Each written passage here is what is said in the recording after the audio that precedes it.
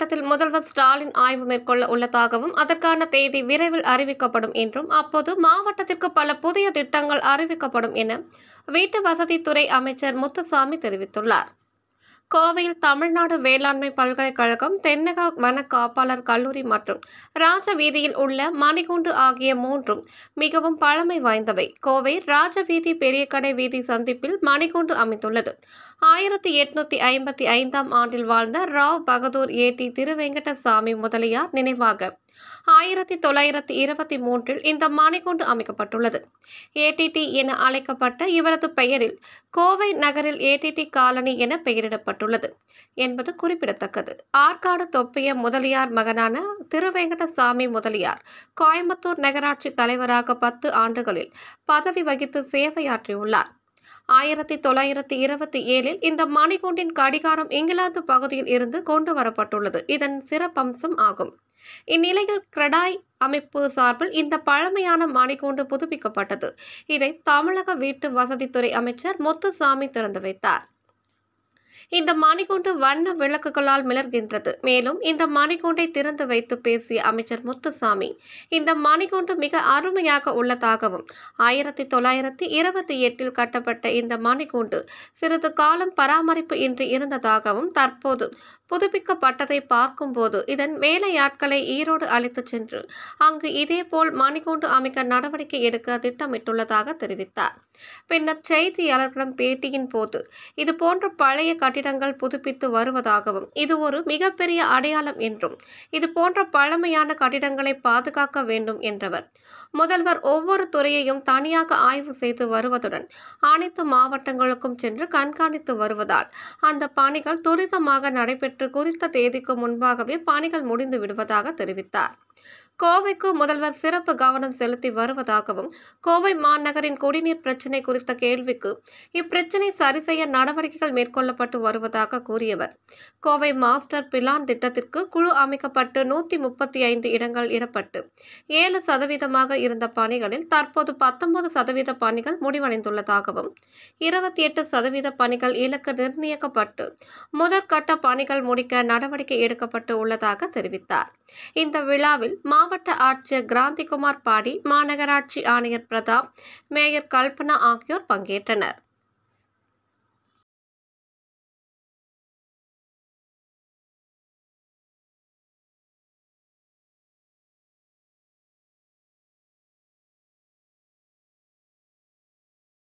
மாநகராட்சியினுடைய ஒரு அடையாளமாக இருக்கக்கூடிய இந்த மணிக்கூண்டு இது ஆயிரத்தி தொள்ளாயிரத்தி இருபத்தி எட்டில் கட்டப்பட்டிருக்கிறது. நம்முடைய மாநகராட்சிக்கு உட்பட்ட கட்டிடங்களிலே மிக பழமையான கட்டிடம் என்றால் இது ஒரு மூன்றாவது இடத்தை பிடிக்கிறது. எனவே அப்படிப்பட்ட இந்த மணிக்கூண்டு நம்முடைய மாநகராட்சியால்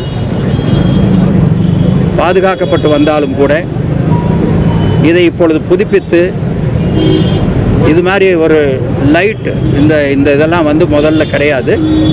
இப்பொழுது மிக அருமையாக யார் வந்தாலும் நின்று பார்த்துட்டு போகணுங்கிற அளவுக்கு மிக சிறப்பாக கிரடாய் மூலமாக இதை செய்திருக்கிறார்கள். எனவே இந்த நேரத்தில் இந்த மக்கள் சார்பாக அவர்களுக்கு நாங்கள் நன்றியை தெரிவித்துக் கொள்கிறோம். இது ஒரு அடையாளமாக இருப்பது மட்டுமல்ல ஒரு பழங்கால கட்டிடத்தை நாம் எப்படி பாதுகாக்க வேண்டும் என்பதற்கு இது ஒரு முன்னுதாரணமாக கூட அமைந்திருக்கிறது என்று நாம் சொல்லலாம். எனவே இது மாதிரியான கட்டிடங்களை நாம் நிச்சயமாக சிறப்பாக பாதுகாத்து வைக்க வேண்டும். அன்றைக்கு இதை கட்டியவர்கள் எடுத்த முயற்சிக்கு இன்றைக்கு ஒரு மறுவடிவம் கொடுப்பதைப் போல அதற்கு ஒரு மீண்டும் ஒரு அடையாளத்தை ஏற்படுத்துவதைப் போல இன்றைக்கு கிராய் மூலமாக இது செய்திருக்கிறார்கள்.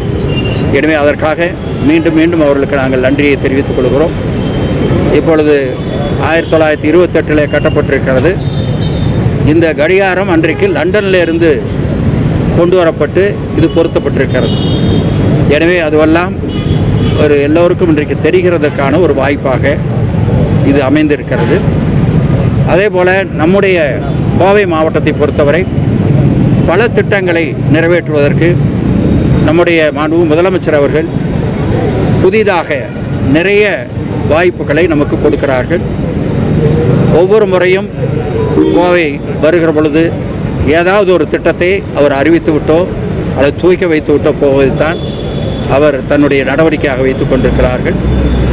நம்முடைய மாவட்டத்தில் இருக்கிற மாவட்ட ஆட்சித்தலைவர் கமிஷனராக இருந்தாலும் மேயர் மற்ற சம்பந்தப்பட்ட அதிகாரிகள் உள்ளாட்சி பிரதிநிதிகள் அத்தனை பேரும் இந்த மாவட்டத்துடைய வளர்ச்சிக்காக தங்களை அர்ப்பணித்து கொண்டு பணியாற்றுகிறார்கள்.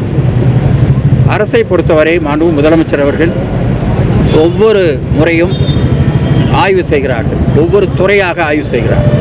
அப்பொழுது அந்த துறையினுடைய சார்பாக எந்தெந்த மாவட்டத்தில் என்னென்ன திட்டங்கள் செயல்படுத்தப்படுகிறது அதனுடைய நிலை என்ன என்பதையெல்லாம் அவர்கள் ஆய்வு செய்வதை தன்னுடைய கடமையாக எடுத்து அவர் செய்து கொண்டிருக்கிறார்கள். அது அல்லாமல் நான்கு ஐந்து மாவட்டங்களை ஒன்றாக இணைத்து அவர்கள் அங்கேயே சென்று அந்த மாவட்டத்திற்கே சென்று அங்கே ஆய்வையும் மேற்கொள்கிறார்கள். நாங்கள் ஆரம்பத்திலே இதுபோல் ஆய்வு நடத்துகிற பொழுது சாதாரணமாக நினைத்தோம். வருகிறார்கள் என்ன திட்டம் நடக்கிறதோ அதை பற்றி மாவட்ட ஆட்சித்தலைவரிடத்தில் அதிகாரிடத்தில் அவர்கள் ஆய்வு செய்து விட்டு போகிறார்கள் என்று கருதினோம். ஆனால் நடைமுறையில் என்ன வந்ததென்றால் ஒரு மாவட்டத்திற்கு ஆய்வுக்கு வருகிறார் முதலமைச்சர் என்று சொன்னால் அங்கே இருக்கிற பணிகள் துரிதப்படுத்தப்படுகிறது. வேகமாகத்தான் செய்து கொண்டிருக்கிறார் என்றாலும் கூட அவர் ஒரு தேதியை நிர்ணயித்தால் அந்த தேதிக்குள்ளாக இதை முடித்து விட வேண்டும் இதை துவைக்க விட வேண்டும் என்ற வகையில் அந்த பணிகள் மிக வேகமாக செயல்படுத்தப்படுகிறது. அதை நாங்கள் சேலத்தில் பார்த்தோம். எனவே அப்படிப்பட்ட ஒரு நிலையை மாண்பு முதலமைச்சர் அவர்கள் எடுத்து ஒவ்வொரு இடத்திற்கும் ஆய்வுக்கு வருகிறார்கள் எனவே நம்முடைய மாவட்டத்திற்கு கூட விரைவாக ஒரு ஆய்வுக்கு தேதி கொடுக்க இருக்கிறார்கள். எனவே அப்பொழுது மேலும் பல புதிய திட்டங்கள் வருவதற்கான வாய்ப்பு இருக்கிறது. நிச்சயமாக எப்பொழுதுமே கோவை மாவட்டம் ஒரு முன்னுதாரணமாக அது தொழிலாக இருந்தாலும் எந்த துறையில் எடுத்தாலும் ஒரு முன்னுதாரணமாக இருக்கக்கூடியது கோவை மாவட்டம்.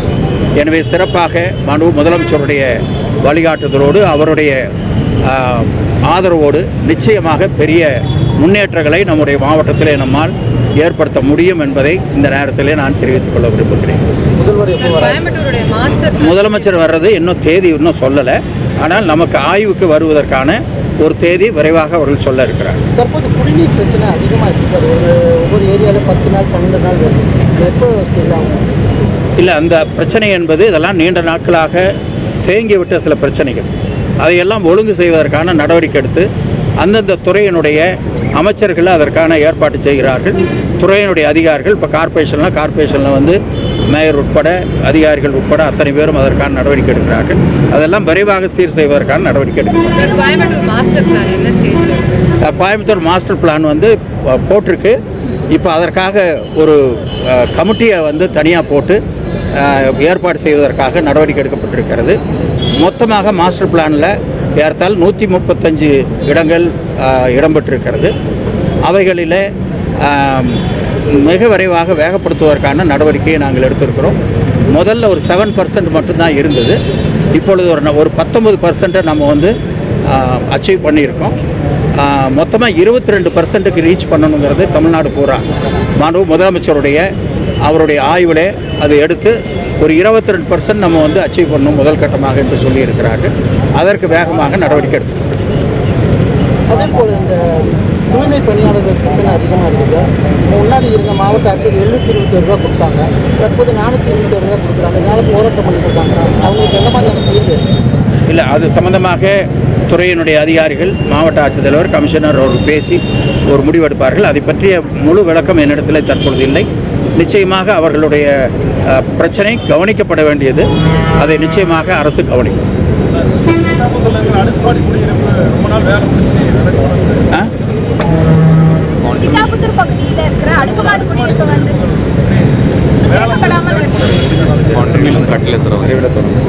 இது வந்து இண்டிவிஜுவல் கான்ட்ரிபியூஷன் ஸ்லம் ஆமாம் அது அவங்க வந்து அந்த செலுத்த வேண்டிய பணத்தை செலுத்திட்டதுனாக்க உடனடியாக அதை ஒப்படைக்க முடியும் என்று சொல்கிறார்கள். இருந்தாலும் பிள்ளைங்க நீங்கள் சொன்ன காரணத்தால் அதை பற்றி நாளைய தினம் ஒரு ஒரு ரெவ்யூ கூட நாங்கள் அதை பற்றி வைக்கிறதுக்கு ஏற்பாடு செய்யணும்